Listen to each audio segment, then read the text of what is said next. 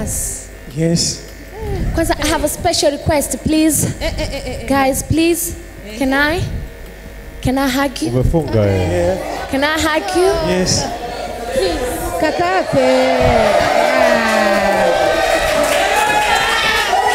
Kakake.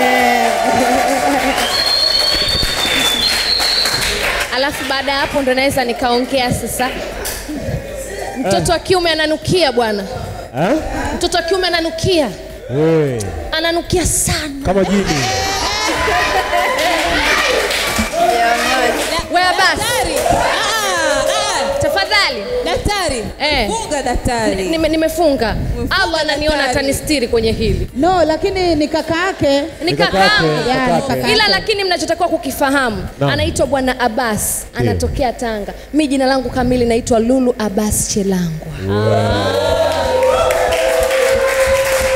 Ana jina kama la marehemu baba yangu, that's why nimeenda kumhug.